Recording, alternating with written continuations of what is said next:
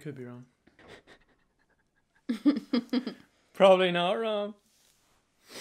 So what's up guys, welcome back to the channel and another video. So this video was supposed to be a little bit different. We did plan on going out and taking some JPEG photos with the Fuji, but the weather just ended up not playing ball. That's kind of what we have to put up with when we're here in Ireland. It's fun. And it's supposed to be summer, but yeah, you just never know. But what happened was we did come across a few comments on YouTube talking about photography style, and then we kind of get into a conversation ourselves and we were like, wait, we should actually do this and talk about this in a video because we think it's very important and it might also help you in some way. So these days you hear a lot about people having a photography style, their own sort of unique look. Or you'll see comments on Instagram like you have a really nice aesthetic feed, it all matches and stuff.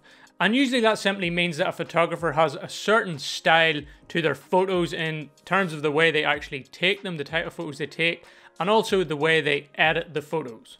So like Christina said at the start, I was watching a YouTube video a few days ago. I actually can't remember what the video was on or who it actually was. I just took a flick through the the comments and I seen a comment from someone that said, I'm creating my Instagram account, my Instagram photography account and I want to know how do I get my own style.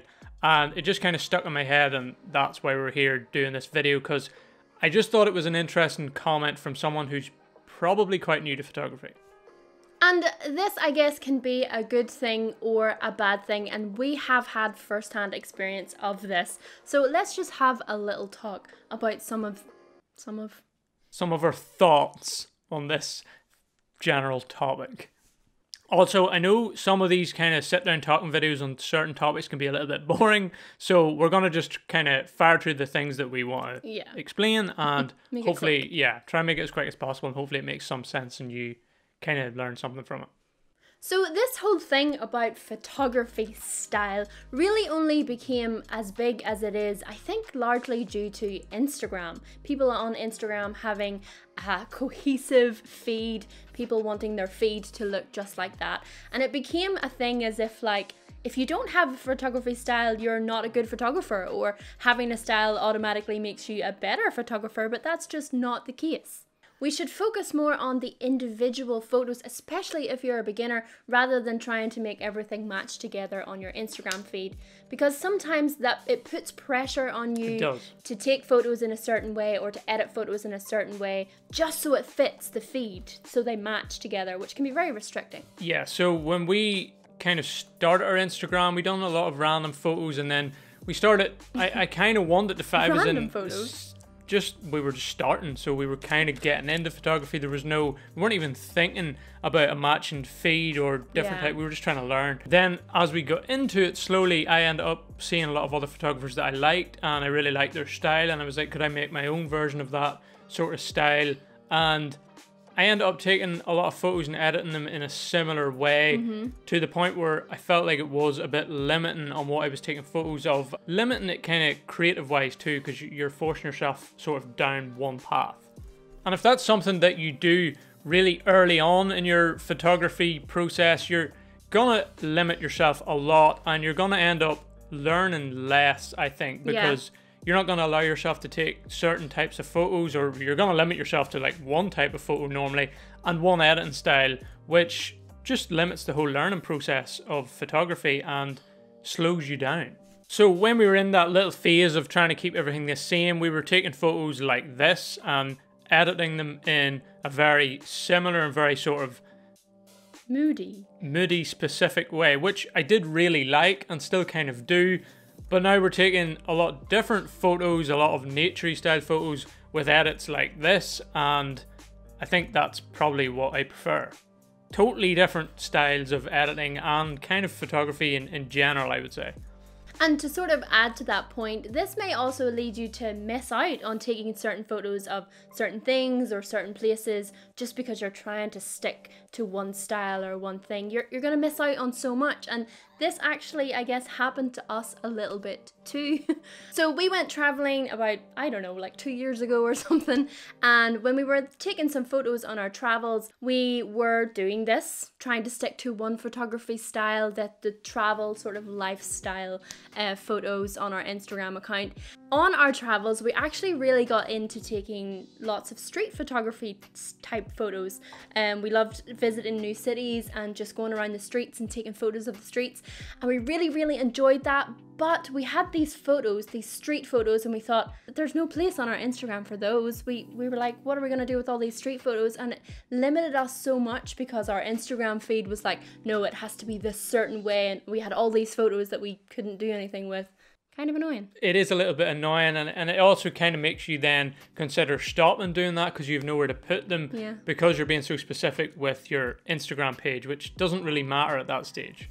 And from all of what we just said, you might think we completely disagree with having a photography style and that it's not a good thing, and that is just not true. We actually do really like people with photography styles, and if you go about it the right way, then I think it's a great thing. At the minute, we probably do have a photography style. It's definitely not as specific as what we tried Yeah. to do it before, but I think just what we like and the way we edit and the photos that we take definitely do have a bit of a cohesive look to them. And I think it works way better if you let that just happen naturally. Let it happen over a longer period of time. Take photos of lots of different things. Find what you like, and your style will slowly evolve into whatever it is that you just how do you even explain that what you slowly start to like more of you'll start to narrow in on that style and that editing style and it's quite satisfying to just find what it is you like naturally Because the thing is, you can't just find something that you haven't experienced, right? You have to experience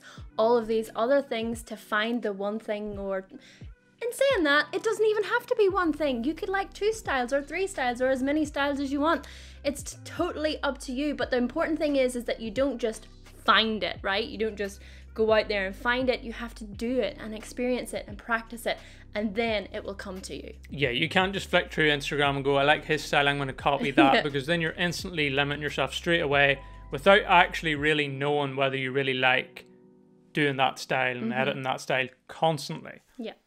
having your own style of photography and your own look to your photos can really be great for commercial work too because if a brand for example wants to work with you or if someone wants to get you to take their photos they kind of know what they're getting And usually that's because of your photography or editing style.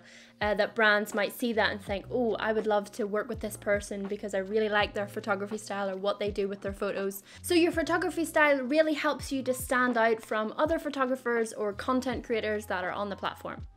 So, just to sum up, we are definitely fans of a, having your own photography style.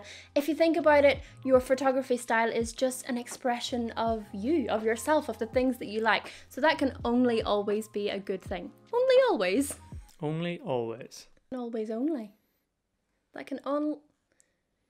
That can always only be a good thing. I don't know what the right sentence is.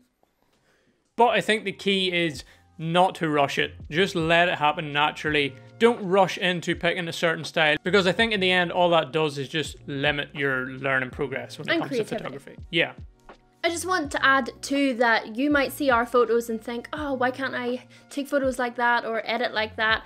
But we've had to go through all of these stages too, right? We've had to try out different photos and photography styles and editing styles to find the things that we like. So it's important that you remember that it takes time and just try things. You're assuming everybody looks at our photos and thinks that they're great.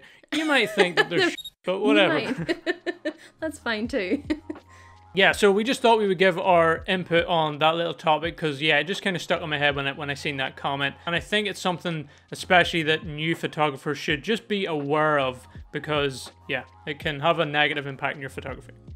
Also, remember that even if you find something that you really like doing, that might also change in a year's time or two years' time. It can be ever changing your photography style. Probably will be. It probably will, and you could just let it happen if you want it to.